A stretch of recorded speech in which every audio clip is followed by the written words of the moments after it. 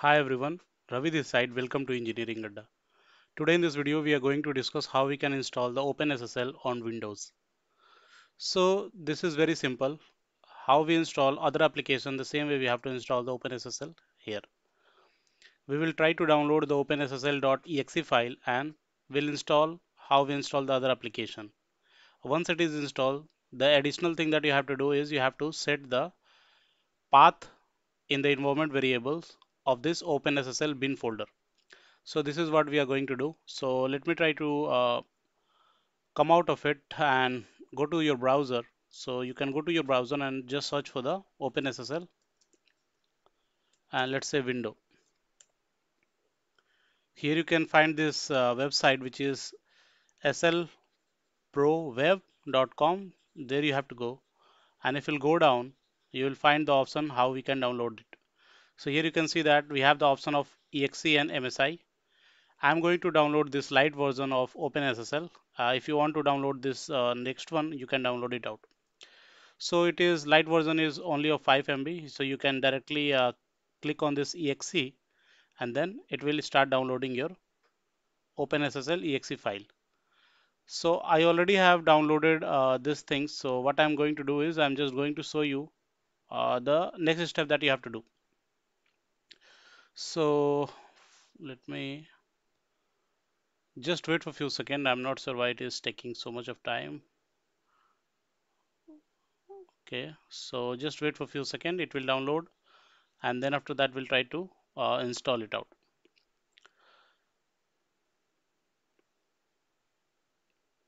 So once it is downloaded, what you have to do is you have to normally install how you install the other application. So if I will show you, I already have installed this, uh, downloaded this OpenSSL Lite version exe file. What you have to do is you have to just click on it and just say yes. And then you have to accept the agreement. Next, next, next, install, and then just wait for a few seconds once it is installed. So you can see that it is installed now. Just finish it out. And uh, if you want to donate something, you can donate it out. Otherwise, just close this page.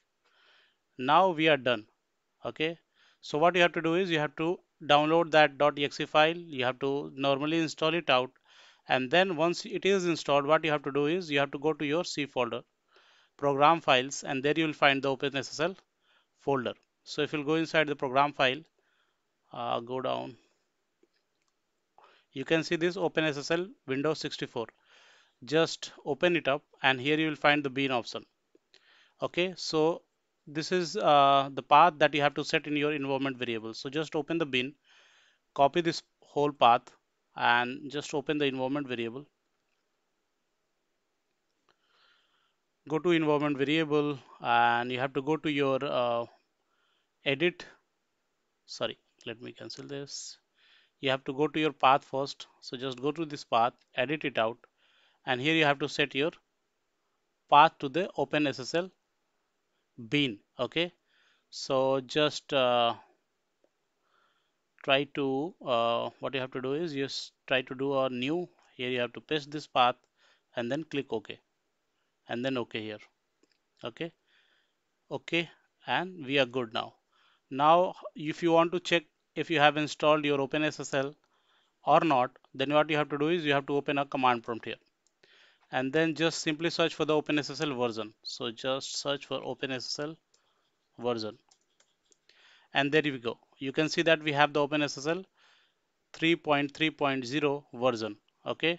So this is how you can install the OpenSSL. Now in the coming video, I will try to tell you how you can generate the key pair using the OpenSSL through a command. Once that key pair is generated, what we can do is we can use that key pairs anywhere else where we want to do the encryption and decryption. So this is about the video guys. If you like the video, please hit the like button and please subscribe the channel for more such content. Thanks.